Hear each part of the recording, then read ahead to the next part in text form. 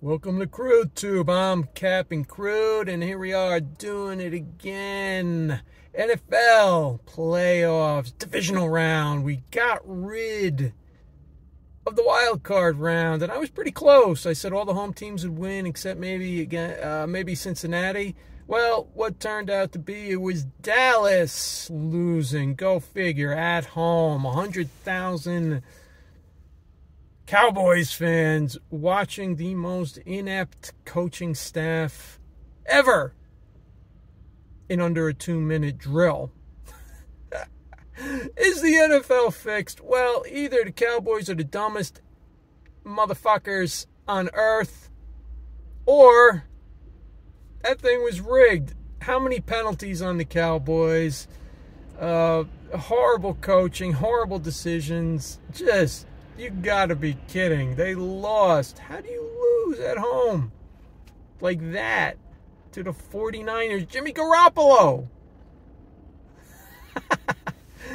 uh, okay, so we're gonna get to the the upcoming games. Buffalo put a stomping, an absolute stomping on the Patriots.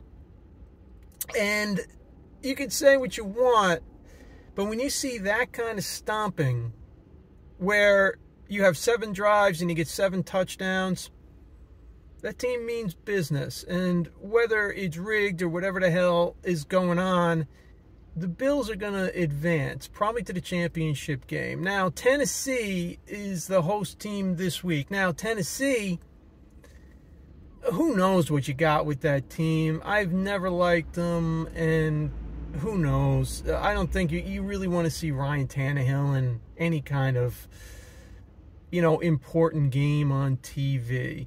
Now, getting back to the NFC, uh, the Buccaneers took care of business. Uh, the Rams took care of business. Uh, everything is pretty much going as planned. You know, it's it's not, you know, up to us at this point like who you're going to get in the Super Bowl really is up to the NFL. It's not up to the teams, it's up to the NFL.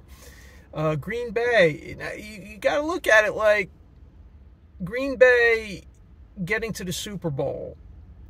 And they were a team that made it once with Aaron Rodgers. Why just once? Why does he always lose in the championship games? Always.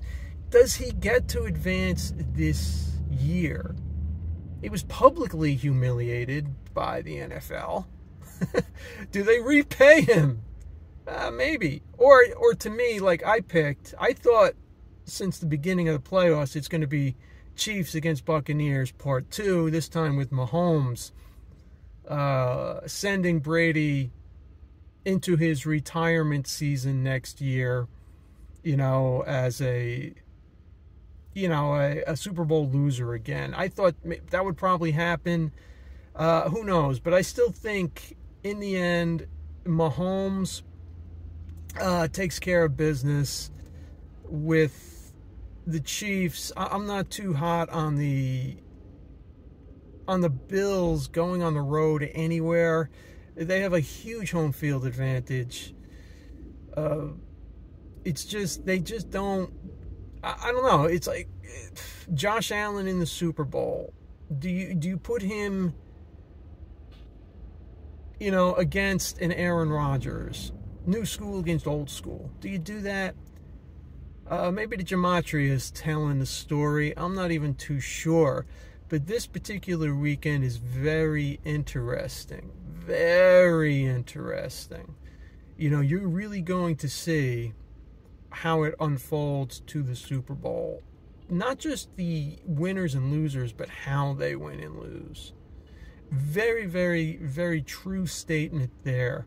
And this is this is going to be you know, I, I, think there's just too many variables. I mean, uh, in this particular, on, you know, Tube, I was looking at my last video and some of the comments, and some people said the Raiders were going to be chosen, and it would be Raiders Cowboys, but they both lost, you know.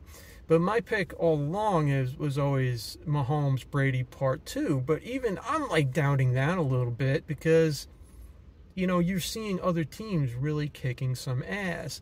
And one of the guys that fascinates me is Matthew Stafford. He has finally won a playoff game after 13 years in the league, something like that. I don't even know. Finally wins in convincing fashion uh, with the Rams.